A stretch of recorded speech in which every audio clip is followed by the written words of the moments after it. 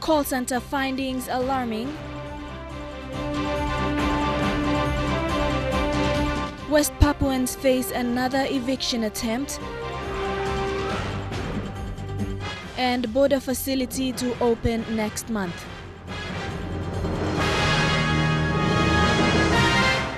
This is National EMTV News with Helen Sayer. Good evening and thanks for your company for Wednesday's news. The, free call, the first free call counseling hotline in the country is concerned at the high number of family-related violence reported daily. With its establishment in August 2015, the One Talk Counseling Help Him line has recorded over 2,000 calls of abuse, physical violence and threats to harm. Project Officer Wesh Siku told EMTV the hotline has been helpful but also paints a picture of the welfare status of individuals across communities in PNG. Just over a year after being established, an alarming data has been recorded by the Free Call Center. In its first year of operation, over 2,576 calls have been reported with high concerns of family and sexual violence abuse, with nearly three quarters of those calls resulting in counseling sessions and referrals. One of the functions of of the counseling center was to provide information to people who call in to seek information. And secondly, uh, when a survivor calls into the counseling center, they provide safety planning. And thirdly, they, do provide crisis counseling. They provide crisis counseling to survivors and also they provide uh, suicide intervention to callers who call into the counseling center. The One Talk Counseling Help Him line has been helpful with confidential counseling and referrals of people seeking help. However, the center is also conscious of the shocking increase in emotional abuse, physical violence, and threats to harm reported by callers. Interestingly, the data recorded shows that both survivors of abuse and perpetrators of violence are using the hotline service for help we have here the trained counselors and experienced counselors who are who are manning our counseling center. So when this when they received these calls, they were in a position to respond to their calls and help uh, assisted the, the survivors. Project Officer Wes Siku says calls have come all over the 22 provinces of the country, with highest number of calls from Central, Southern Highlands, Chimbu, East Sepik and Morobe province. The hotline service is in its infant stages, however, is critical in minimizing and addressing the extreme rates of violence that exist in communities around PNG. If it means to to reduce the number of incidents that is happening within the country, we have to do a lot of advocacy, do a lot of awareness to bring down the rate of domestic violence or gender-based violence which is happening throughout the country. The project is a partnership between Child Fund PNG, CIMC, FHI 360, New Zealand Aid, USAID, Child Fund New Zealand, and Child Fund Australia. Jack Lapava Jr., National EMTV News. Distraught West Papuan refugees in Port Moresby are pleading with the PNG government to send them to a third country following yet another eviction attempt. The refugees say the eviction attempt and the court battle that they are pursuing over the property under dispute shows a distinct lack of government support to them as refugees. Mipla Mipla refugees here, no got ground here. The eviction exercise began around midday today on a property in Port Moresby by members of the Hohola police station. Donatus Karuri has been living on this property for over 30 years. No got one play eviction order come talk sabi or by me pla out. I'm morning the police come on the eviction order. Meeting this eviction order must come one week or one month or by me pla to ready pick up out. The property, Section 3, Allotment 33 in Hohola, has become an informal refugee camp for West Papuans who have come to PNG seeking safety and protection. Recently, the property has come under dispute, forcing the refugees to go to court to maintain their right to remain on the property. Last month, when EMTV visited the property, the refugees said they are aware of an eviction notice issued by the district court and were challenging it in the national court. On August 8, 2016, a national court order stayed the eviction from being carried out. This order was what saved the refugees from being homeless today. Lawyer Asha Wafi brought a copy to show the policemen to stop the eviction exercise, saying it is illegal and in contempt of court. Donato said this eviction attempt and the fact that they are representing themselves in court shows the lack of PNG government concern over their plight. Suppose Papua New Guinea no look at me lo here. Sali that country. Sali out country. More than 50 men, women, and children live on this property. Some of the school children had to be taken out of school today to prepare to vacate their home, which fortunately for them didn't happen this time. While the title of the property is a matter before the courts, the bigger questions remain. How best will the PNG government provide practical support towards people who have been recognized as refugees and are living on PNG soil? Sarah Aupong, National EMTV News. The Mul-Baiyer District Development Authority has installed EMTV transmitters in the district. The district has become the first to do this in the Western Highlands. Today, the infrastructure was displayed during the opening of a classroom at the Kumdi Primary School. EMTV's Bethany Harriman and cameraman Mason Hungito are in Mul-Baiyer and bring us this story. Mul-Baiyer is opening up at a rapid pace. The district now has two transmitters, one in Mul and one in Baiyer. The people will only have to switch on their televisions and they will receive free-to-air programs. It comes when EMTV continues to diversify and information becomes critical to the development of Papua New Guinea. Mul-Baiyer district has taken steps to ensure its people are better informed, something that could be replicated by other districts in Papua New Guinea. DSIP money em easy easy lokam. 5 million kina mibla kissing finish. Another 5 million kina ba embakam before end of the year. Mibla working more commitment, mibla work and deliver him now.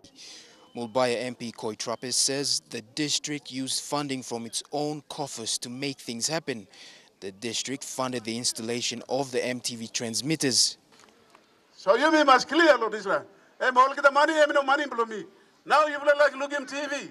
People have put him tower em 1 million kina. Mul-Baiyer villagers will now have EMTV broadcast right into the house line of family. They become the first district in the Western Highlands outside of Mount Hagen to have the infrastructures. Bethany Harriman, National EMTV News, Mul-Baiyer. The Wutung border facility in Sandaun province is set to open next month. This was announced by BDA chairman Fred Konga. Mr. Konga said due to certain issues along the border, the official opening was delayed. The facility is a pilot project for BDA and funded by the Asian Development Bank. The facility was constructed four years ago and was completed last year. It is the first state-of-the-art border and customs facility aimed to improve border management between PNG and Indonesia. The delay in its official opening was due to discussions with the Indonesian government on border issues that were still outstanding.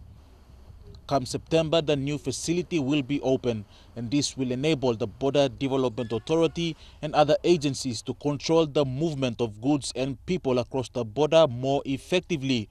Meanwhile, BDA has appointed six new board members. This is the second board since the Border Authority was first established. BDA Chairman Fred Konga said with the new board in place, similar plans for developing the other five border provinces of the country will now come into effect. Stanley Over Jr., National EMTV News. The Constitutional Office Holders Benefit Act 1986 was this afternoon declared inconsistent with the Constitution.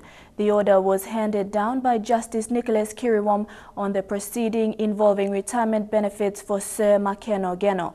The court ordered that the act is inconsistent because it did not provide a time limit on when the retirement payment should stop. Parties involved in this application are Sir Makeno Geno as the applicant and the Solicitor General as the defendant.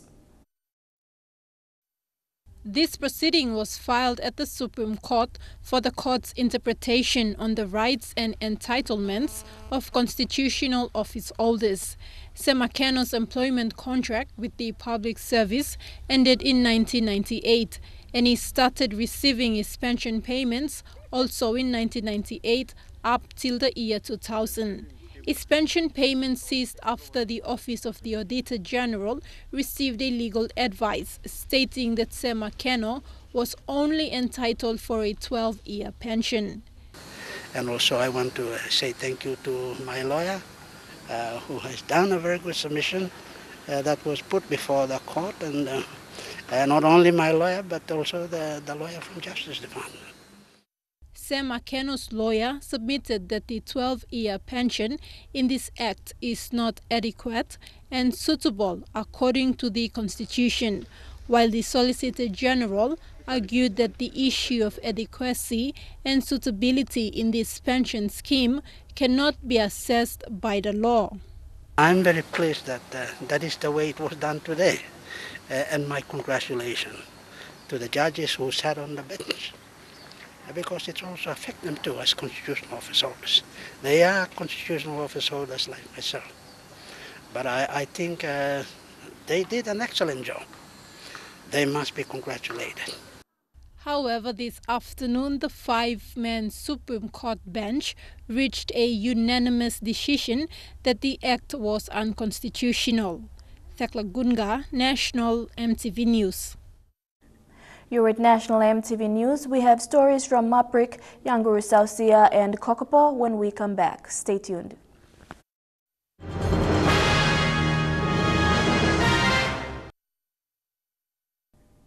Welcome back.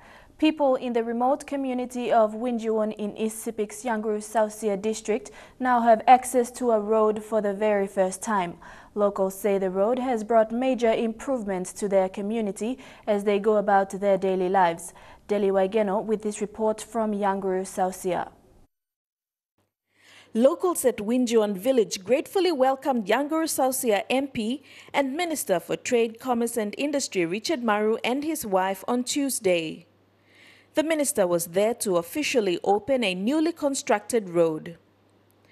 A local Andy Waroro described the daily hardships faced in accessing vital services before the road was built and thanked the MP for the initiative. Uh, before no sambla yari was am sidam no mibla emino kutpla mibla bisri no kuna mibla kare mani kam kare olka ko hiya ikoda house no mibla. But now you come up before you know amla money or same now you come up, you don't. You will all get to come up the plate clear. Come up, no. Me play have a master. Me play talk thank you long you. Lord from me play go wrong. House from me play. No, she don't me play. Me come up. Kupla organ you. On send me play talk thank you to much member. Minister Maru acknowledged the hardships faced by his people in the absence of infrastructure like roads and bridges. These people have waited for a very long time for a road. Young Association on a, on a move, on a march, God is going before us and no one will stop our, our development by Ronier. He urged the locals and their community leaders to care for the infrastructure and be receptive to more development. To show their appreciation, a houseman was built in Winjuon in the minister's honor to encourage deeper dialogue between the MP and his people. Tell a house, and mark him. Minister Richard Maru.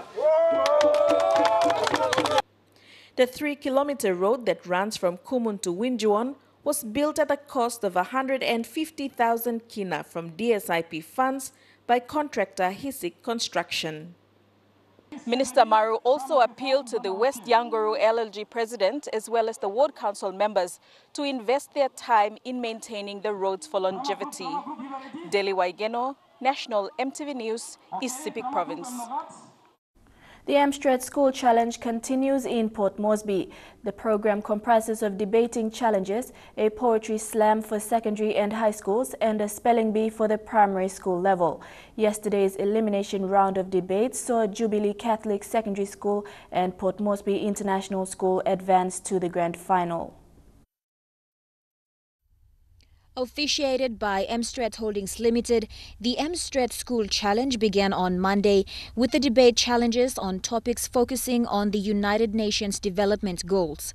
Yesterday's elimination round saw Jubilee Catholic Secondary challenge Marianville Secondary, and in the second elimination round, Koiari Park Adventist High School, a first-time contender and the only high school participating, challenged Port Moresby International School. Today's round of debates is in day number two of the Mstret School Challenge. Advancing today are all participating teams from yesterday's round one in the Mstret School Challenge. Behind me, debating is underway between Marianville's Catholic Secondary School and Jubilee Catholic Secondary School. Winning teams from this elimination round will advance into the grand final to secure a place to travel to Honiara and the Solomon Islands to take part in the Melanesian debating challenge. Program founder and director Vani Nades shared with EMTV that despite challenges faced in running the program due to limited funding, she persists with passion as she has since the previously known IBS inter-school debates.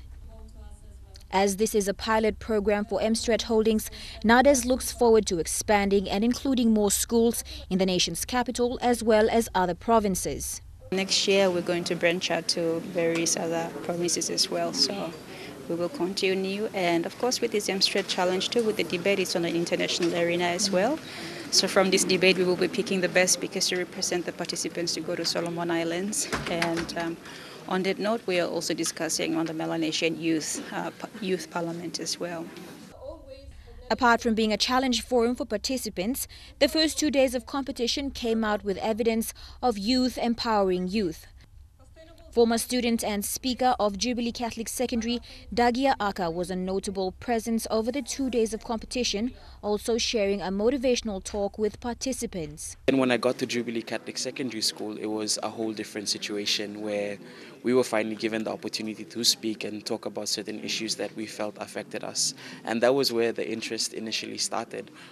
Lorraine Gabina, National EMTV News. Maprik District is establishing a resource center for women and youths.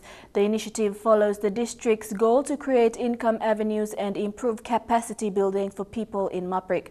100,000 kina from the district's Development Authority Fund was invested in building the center. The resource center will be built in Ulupu village, which is a 45-minute drive from Maprik town. Ulupu has an estimated population of over 35,000 people. Half of the population is women and children. Carol Pino, president of the Ulupu Women's Association, explained that this center will provide life skills training for Ulupu women and youths. aim or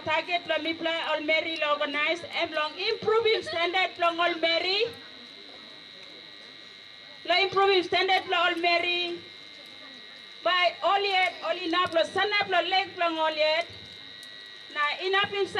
all basic time play kind training or workshop come inside training On average, most girls in Ulupu do not further their education after grade 10. These girls turn into go coffee, cocoa or peanuts and sell to earn an income.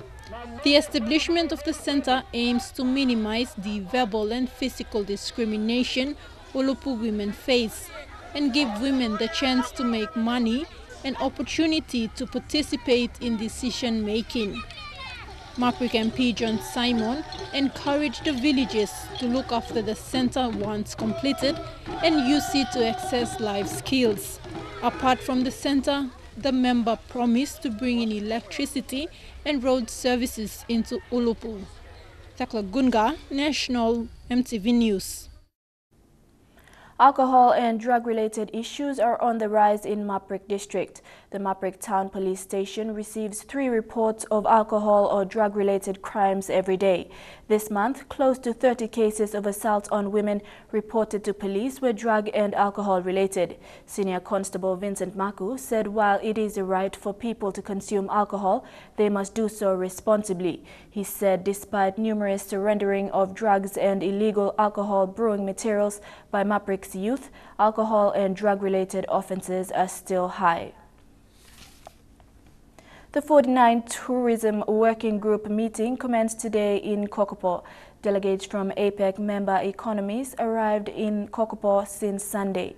The Tourism Minister Tobias Kulang officiated at the gathering today said PNG, particularly East New Britain, is privileged to have this international meeting held in the province for the first time since PNG first joined the APEC in 1993.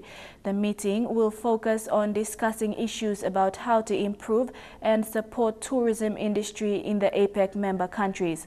The discussions of the meeting will be formulated into working plans for the PNG Tourism Authority to use. The meeting also comes at a time as the national government plans to transform East New Britain province into a tourism hotspot for the country. The event will continue over the next two days as one of many international meetings leading up to the 2018 APEC Summit in Port Moresby. And now looking at our finance news, the kina closed unchanged at 0.3155 US dollars in the interbank market. At Bank South Pacific, your kina was buying 0.3080 US dollars, 0.4067 Australian dollars, 0.2732 euro and 31.31 Japanese yen. Looking at commodity prices at New York close, Gold, coffee, and copra closed higher while cocoa closed the day lower. Crude oil and copper closed lower while palm oil closed the day higher. And on the stock market, the Dow Jones closed at 48.69 points lower. The ASX is trading at 39.09 points lower. And the All Ordinaries is trading at 37.73 points lower. You're with Wednesday's news. We'll have more local news and stories making headlines overseas up next.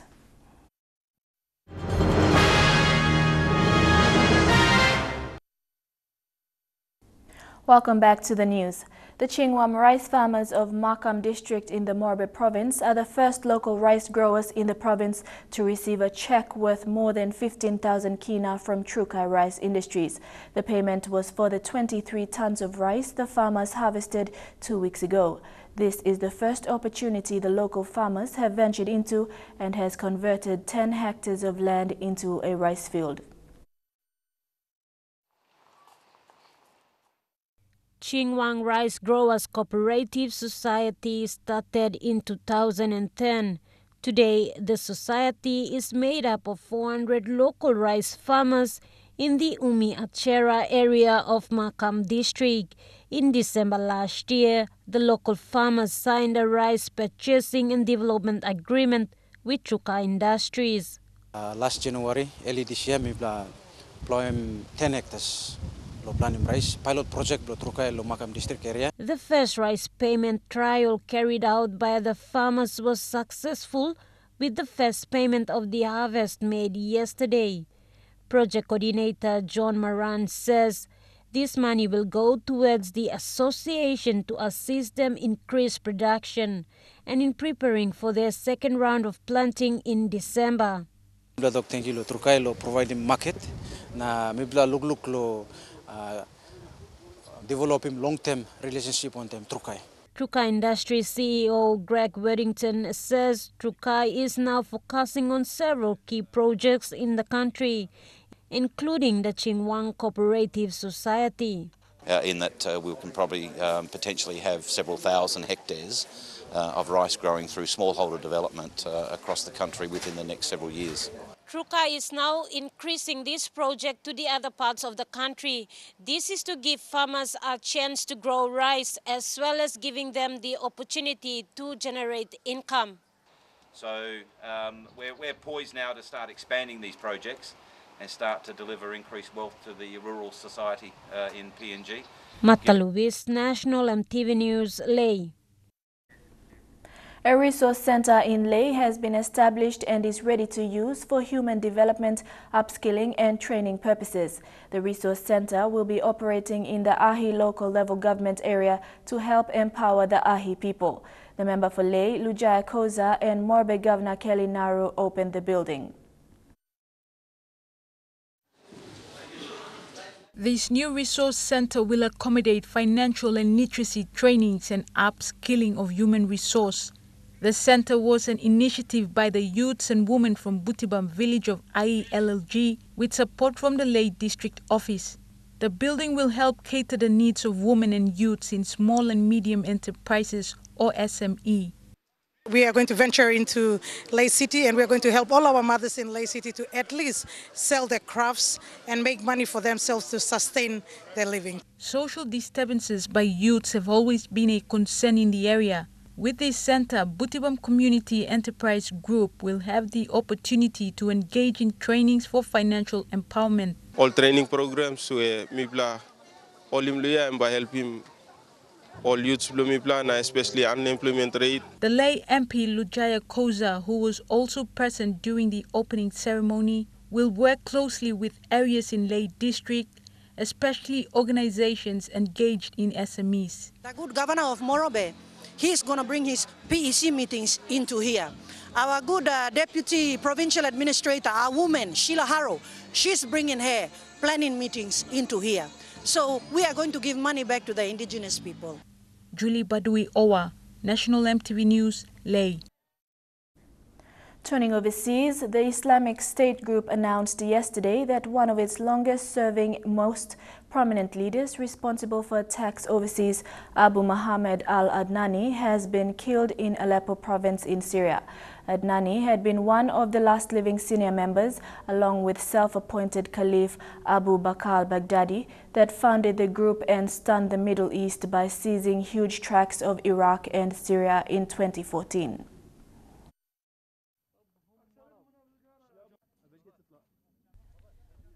The U.S. said it carried out an airstrike yesterday targeting him, saying a vehicle was hit in the Syrian town of Al-Bab, but didn't say whether they had confirmed the strike had killed him. As Islamic State spokesman, he was its visible member.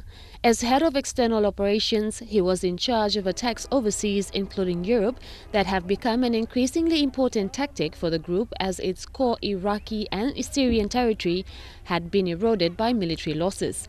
Advances by Iraq's army and allied militia towards Islamic State's most important possession of Mosul have put the group under new pressure at the moment when a US-backed coalition has cut its Syrian holdings off from the Turkish border. Those military setbacks have been accompanied by airstrikes that have killed several of the group's leaders, undermining its organizational ability and dampening its morale. A U.S. counterterrorism official who monitors Islamic State said that Adnani's death will hurt the militants in the area that increasingly concerns us as the group loses more and more of its support and its financial base and turns to mounting and inspiring more attacks in Europe, Southeast Asia and elsewhere. Under Adnani's command, Islamic State has launched large-scale attacks, bombings and shootings on civilians in several countries outside of its core area, including France, Belgium and Turkey. The official said Adnani's role as propaganda chief and director of external operations have become indistinguishable because the group uses its online messages to recruit fighters and provide instruction and inspiration for attacks. Islamic State news agencies reported that Adnani was killed while surveying the operations to repel the military campaigns against Aleppo. Islamic State holds territory in the province of Aleppo, but not in the city where rebels are fighting Syrian government forces. The agency did not say how Adnani, born Taha Subhi Falaha in Syria's Idlib province in 1977, was killed. Islamic State published a eulogy dated August 29th, but giving no further details. Tennessonite MTV World News. Here with National EMTV News, we have the first day in the Rugby League Zone Championships in Lae. Stick around for that and more in Trukai Sports coming up next.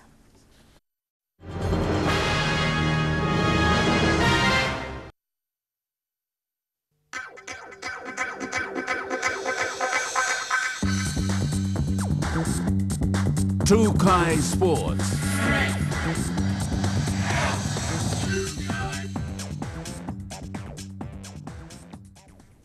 Welcome to Trukai Sports. In Rugby League, reigning champions the Northern Confederates are in for a hectic week of defending their under-18 title in the National Zone Championships in Lae. This afternoon, they defeated their main rivals, the Southern, and walked over the Island Confederate in a 24-6 finish. Towards the end of the first half, the Northern Confederate had already stamped their mark on the field the damp conditions making play slow and difficult at times. But when they ran towards the island's goal mouth, there was no stopping them. First a close call, then a try. The conversion successful play went on.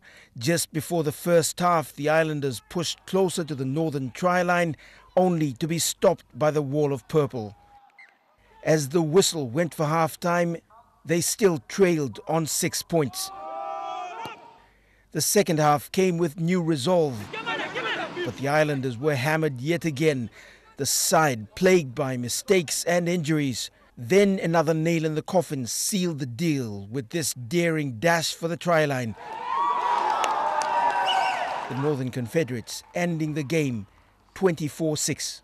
Scott White, National EMTV Sports, Lae. The CEO of the Coca-Cola Ipatas Cup, Timothy Lepa, has called on rugby league authorities to improve record-keeping related to players and officials who have been banned. Lepa was commenting on last weekend's on-field violence in Port Moresby, which Mount Hagen Eagle officials attacked match officials. Lepa highlighted that the official in question was previously banned in another league several years ago for a similar attack. Some of these technical officials have been banned, but we don't have the record for the technical officials by the uh, board. They don't have the record, but some of these technical officials have been banned in the other ascension competition by PNG Rugby League, but yet we involve them in in the Eagles. Uh. And then that you will feel sorry for this uh, young talent who have, you know, uh, played very well this year. I bet my some of the very young talent who played this year in the Eagles. Eagles have the most best team this year, but lacking experience. That's why they lost. Uh. The recent violent actions of a Mount Hagen Eagles Rugby League official at last weekend's semi-final match in Port Moresby has sparked serious questions of PNG as a host nation during the 2017 Rugby League World Cup. Last weekend's incident has made headlines on overseas media. Minister for Sports Justin Tkatchenko has expressed his utmost disgust at the behavior of the guilty club officials and says a lot had been invested to bring the national sport to the level it is now. Is it going all the way? Oh. Yes, try time again. That's number six for the Hunters.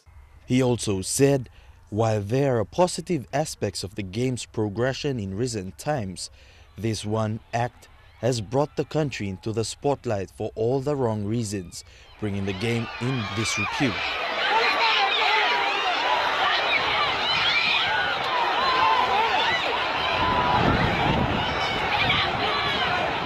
PNG is to host the Rugby League World Cup 2017 along with Australia and New Zealand. Minister Tkatchenko ended on a high note saying regardless of one or two individuals tarnishing the country's reputation, he will, in his capacity, ensure that the Rugby League World Cup goes ahead in Papua New Guinea. Elijah Levet, National EMTV Sports. You're Sports. More stories after the break.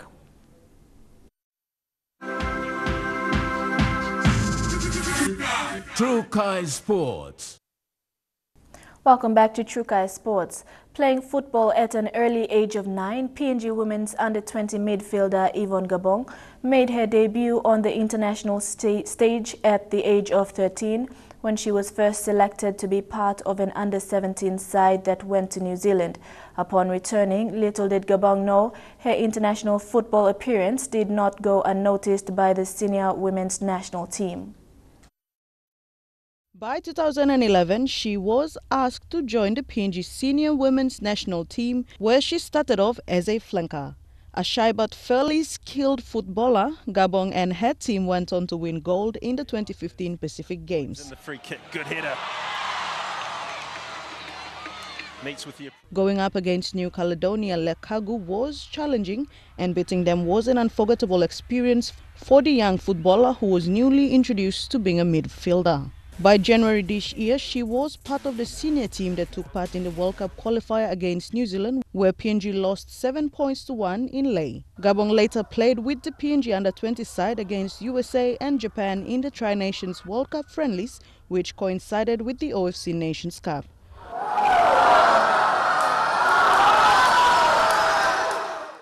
Training continues for these young women as she prepares for the Under-21 Women's World Cup, which is just two months away. Dini Rose Ryko, National EMTV Sports. Titan speedstar and Kumuls winger Nene McDonald has signed a three-year contract with the St. George Illawarra Dragons. The contract will see McDonald join the club next season until the end of 2019. The 22-year-old, who is capable of playing on the wing or in the center, is currently under contract to the Gold Coast Titans and has played 43 NRL to date. McDonald made his first grade de debut from the for the Sydney Roosters rather during the 2014 season and has represented the PNG Kumuls on five occasions. The 2016 NRL All-Stars representative is expected to join the Dragons in November. And that's a wrap for Trukai Sports. The weather details when we come back. Trukai Sports.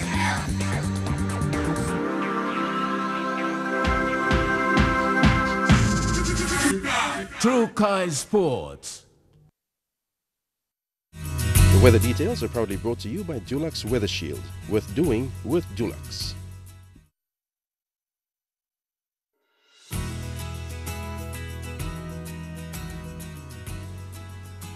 Your weather forecast for tonight and tomorrow in the southern region, cloudy periods with chances of rain in Port Moresby, fine in Daru, brief evening showers in Kerema and Alotau, and thundery showers and rain in Popondetta. In the Momase region, thundery showers and rain in Lae, Wewak and Vanimo, and brief showers clearing in Madang. In the New Guinea Islands region, passing thundery showers and rain in Lorengau, thundery showers and rain in Kavieng, Kokopo and Rabaul, some showers and rain in Kimbe and a shower or two in Buka. And in the Highlands region, cloudy with chances of few showers, then morning fog developing in all centers.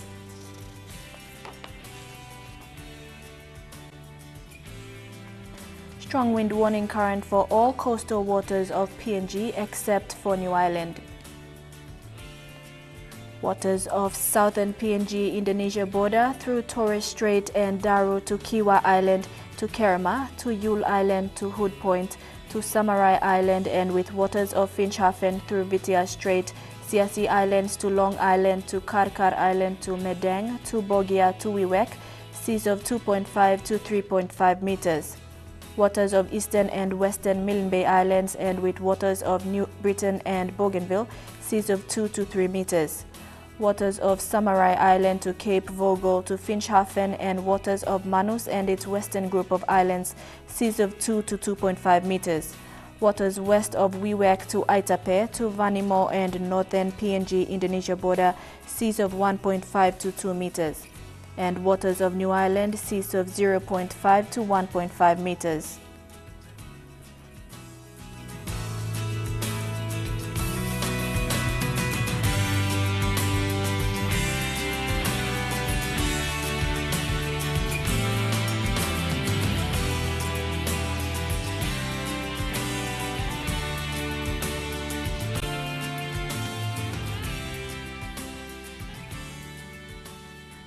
Ocean forecast for PNG areas in the Coral Sea seas rather rough to rough with southeast winds at 25 to 34 knots. In the Solomon Sea, seas rather rough with southeast winds at 20 to 25 knots. Bismarck Sea, seas rather rough to rough with southeast winds at 25 to 34 knots. And in the Pacific Ocean, seas slight with east to southeast winds at 10 to 15 knots.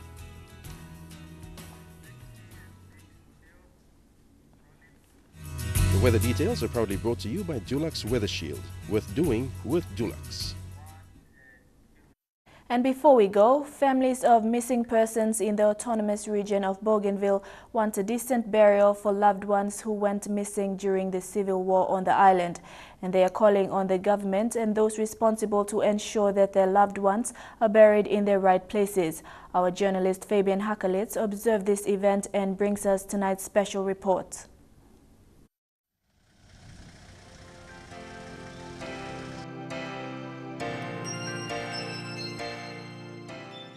Families of the missing persons in the autonomous region of Bougainville have once again united in commemorating the International Day of the Disappeared. These are families who lost their loved ones during the 10-year bloody conflict in Bougainville. This is the second year in which the International Day of the Disappeared has been commemorated here in the autonomous region of Bougainville. Families get it here in Arawa to remember their loved ones who lost their lives during the Bougainville Civil War and to participate in this very important event.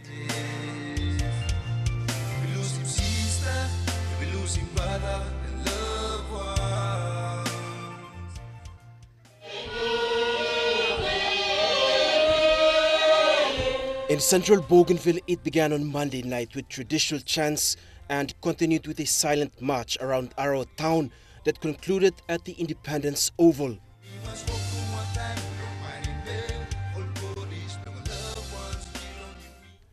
The public were also able to view some pictures of those missing persons.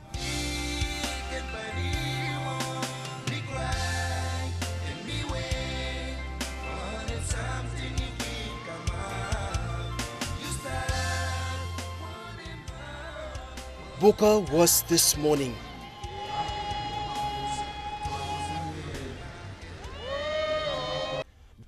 Dorothy Cole Lobiase from Tohati village in the Hali constituency lost three of her brothers, Lawrence, George and Michael, during the Civil War.